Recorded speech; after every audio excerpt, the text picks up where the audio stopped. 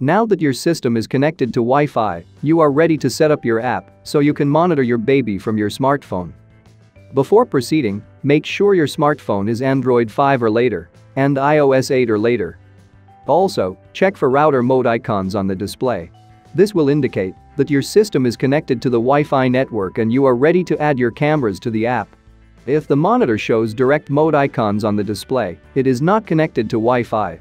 You will need to go back and install your monitor on the Wi-Fi network before you can add your cameras to the app. For help, watch the how to set up Wi-Fi connection video. Here we will walk you through how to install the app, create an account and sign in, and add a camera. First, you will need to locate the app. You may scan the QR code displayed here or search My VTech Baby Pro in your app store. Then download the app. When the app is downloaded, open the app and follow the instructions to create an account.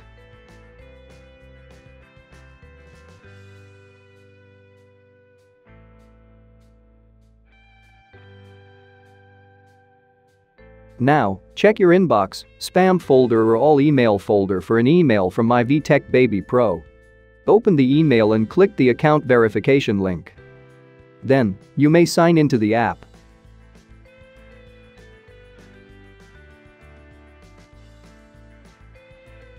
To add a camera, you will need to scan a QR code in the parent unit. Follow the steps here to find the QR code.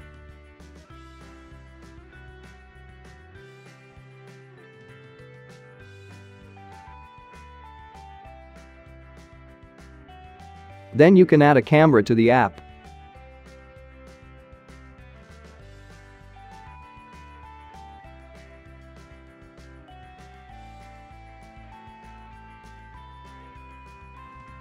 Now you are using the video monitor on your smartphone. For more helpful tips, subscribe to the VTech support channel or check out our other videos to keep watching.